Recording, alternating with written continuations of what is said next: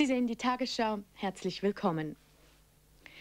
Zum Auftakt der Wintersession haben am Montag neben Alteingesessenen auch 66 Neugewählte im Nationalratssaal Platz genommen. Mit der kommenden Bundesratswahl vom 10. Dezember dürfte Ihnen eine besonders spannende Session bevorstehen. Patriotische Stimmung herrscht im Nationalratssaal. Schweizer Fahnen flankieren das Rednerpult. Der Nationalrat stimmt zum Sitzungsbeginn die Landeshymne an. Das hat es im Parlament noch nie gegeben.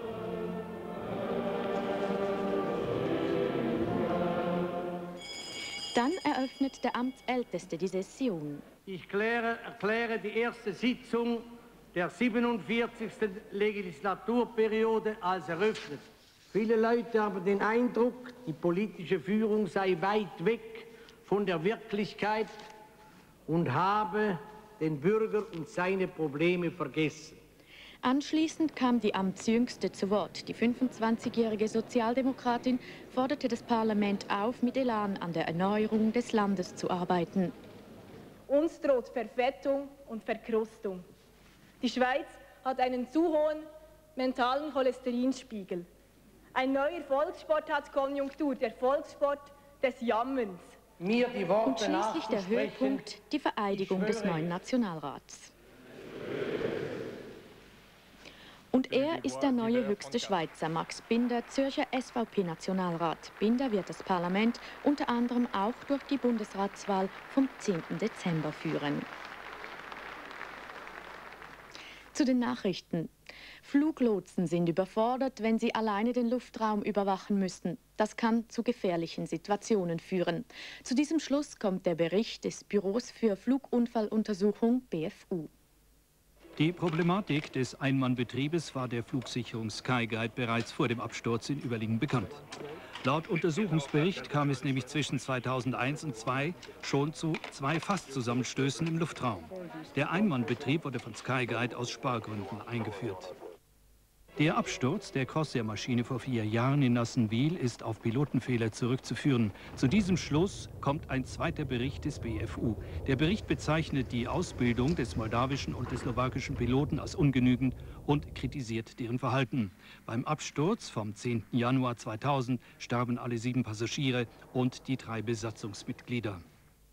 Im Prozess um das Finanzdebakel von Leuker Bad ist der frühere Gemeindepräsident Otto G. Loretan zu viereinhalb Jahren Zuchthaus verurteilt worden. Das Gericht hat den ehemaligen CVP-Nationalrat in erster Instanz des mehrfachen Betruges, ungetreue Geschäftsführung und Urkundenfälschung für schuldig befunden. Loretans Anwalt will das Urteil voraussichtlich anfechten. Der mitangeklagte Architekt soll für zweieinhalb Jahre ins Gefängnis. Der Präsident des irakischen Regierungsrates Jalal Talabani vermutet Saddam Hussein als Drahtzieher hinter den jüngsten Angriffen auf US-Truppen im Irak. Dies erklärte Talabani in einem Interview im französischen Fernsehen. Amerikaner haben bei Gefechten in der nordirakischen Stadt Samara 54 Iraker getötet. Der vorausgehende Angriff auf zwei Geldtransporte sei eine koordinierte Aktion von Gefolgsleuten von Saddam Hussein gewesen, hieß es in einer Erklärung der US-Streitkräfte. Irakische Polizisten und Ärzte bezweifeln die Opferzahlen. Der frühere serbische Präsident Slobodan Milosevic kandidiert bei den kommenden Parlamentswahlen in Serbien. Milosevic ist in Den Haag inhaftiert und muss sich vor dem UNO-Kriegsverbrechertribunal wegen Kriegsverbrechen, Verbrechen gegen die Menschlichkeit und Völkermord verantworten. In Serbien dürfen Angeklagte oder Verurteilte, die ihre Gefängnisstrafe abgesessen haben, zur Wahl antreten. Frankreichs Diplomaten sind in den Streik getreten, um gegen massive Budgetkürzungen zu protestieren. Die knapp 10.000 Beschäftigten befolgten den Streikaufruf fast vollständig. Im weltweit zweitgrößten diplomatischen Dienst werden seit Jahren Stellen abgebaut. Nächstes Jahr sollen weitere 116 Jobs wegfallen. Unzählige Friedensbemühungen für den Nahen Osten sind in den vergangenen Jahren gescheitert. Nun soll ein alternativer Friedensplan, ausgearbeitet von palästinensischen und israelischen Politikern, den Friedensprozess wieder in Bewegung bringen. Die sogenannte Genfer Initiative wurde im Beisein vieler namhafter Persönlichkeiten, darunter auch einige Friedensnobelpreisträger, in Genf lanciert. Nach zweijähriger Arbeit war es heute soweit. Die beiden Hauptinitianten, der frühere palästinensische Informationsminister Yasser Abed Rabo rechts und der ehemalige israelische Justizminister Yossi Beilin links präsentieren die Genfer Initiative offiziell der Öffentlichkeit. Bei der Zeremonie in Genf anwesend der frühere US-Präsident und Friedensnobelpreisträger Jimmy Carter sowie je 200 israelische und palästinensische Vertreter. Die Genfer Initiative beinhaltet folgende Hauptpunkte. Es gibt zwei unabhängige Staaten, Israel und Palästina, Verzicht durch Israel auf fast alle Siedlungen. Jerusalem wird Hauptstadt beider Staaten. Die Palästinenser bekennen sich zum Existenzrecht Israels und zum Verzicht des Rückkehrrechts aller Vertriebenen. Der frühere US-Präsident Jimmy Carter erklärte, die Israelis müssten sich fragen lassen, ob sie ihre Siedlungen in den Palästinensergebieten behalten oder Frieden mit ihren arabischen Nachbarn schließen wollten. Die Palästinenser müssten im Gegenzug der Gewalt abschwören. Carter verlangte außerdem eine aktivere und unvoreingenommene Rolle der USA. Die Genfer Initiative wurde nach der Feier Bundesrätin Kalmire überreicht. Das Papier wird in der Schweiz hinterlegt. Die Schweiz hat die Verhandlungen logistisch und finanziell unterstützt. Die Genfer Initiative wurde von der israelischen Regierung allerdings als subversiv zurückgewiesen. Auch radikale Palästinenserorganisationen lehnen sie ab. Damit sind wir am Ende der Sendung. Ich bedanke mich fürs Zusehen und wünsche eine gute Nacht.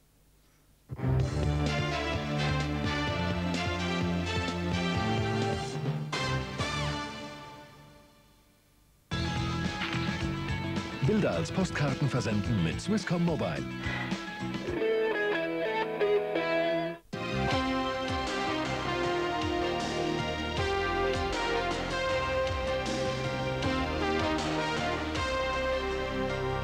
Schwaches Lüftchen weht im Wetterstudio auf dem Dach. Willkommen, sehr verehrte Damen und Herren, bei Meteo.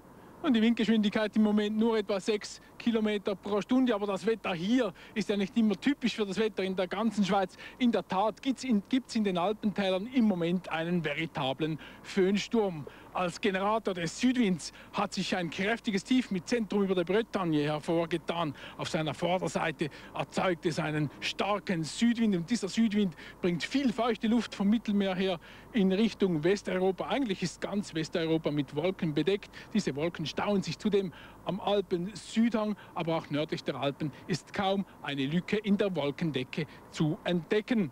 Nun, das bestätigen auch unsere Bilder vom Rigi. Der Rigi steht ja eigentlich äh, in einem Föhngebiet und trotzdem ist kein Föhnloch zu entdecken. In der Tat war es in der Deutschschweiz heute weitgehend bedeckt. Immerhin blieb es trocken. Auch in der Nacht, da bläst der Föhn weiter, er weht so stark, dass er sogar den Rand des Mittelland berührt das Mittelland berührt. Und äh, es gibt einige Orte, wo es der Föhn an den Läden rütteln wird, äh, wo es sonst bei Föhnlagen ruhig bleibt.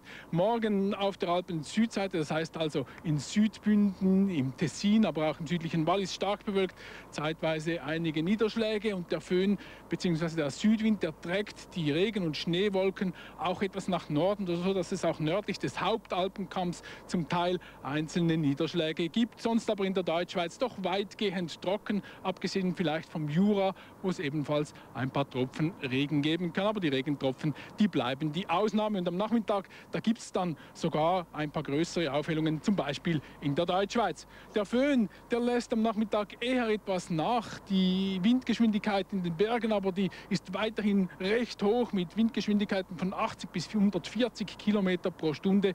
Die Böenspitzen zum Teil sogar noch etwas höher.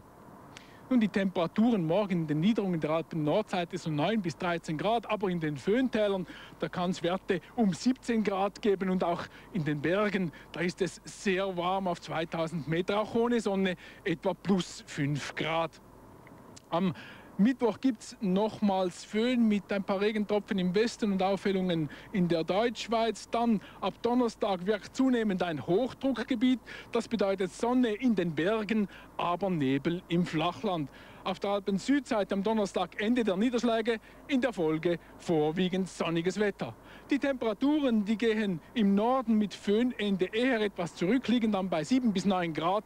Im Süden läuft es gerade umgekehrt. Dort wird es eher etwas wärmer. Insgesamt kann man aber sagen, es ist eher zu mild und damit findet das Wetter Anfang Dezember eine Fortsetzung vom November. Denn im November war es insgesamt zu warm, im Flachland zwar nur etwa ein Grad über der Norm, aber in den Bergen, da betrug der Wärmeüberschuss bis zu 5 Grad. Damit ist es gut, dass es wenigstens Ende November vorübergehend einen Wintereinbruch gab. Denn wenn es nicht temperaturmäßig Winter ist, so ist der Eindruck wenigstens optisch winterlich. Meteor gibt es morgen wieder. Ich wünsche Ihnen einen schönen Abend. Auf Wiedersehen.